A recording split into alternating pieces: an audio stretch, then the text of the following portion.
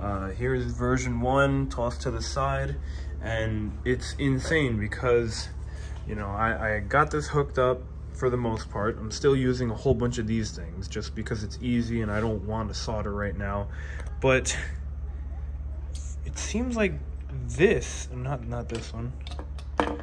This might have been the reason the thing wasn't working because I did all the wiring the same and it still didn't work. But then when I changed this out for another one, it started working again. So what I did was I went over and I plugged the 12 volt step down back into the battery source and you can see we're getting 12 volts out of it. So I don't know. It does work. Uh, I'm gonna, just for the sake of it, try this one and see if anything changes.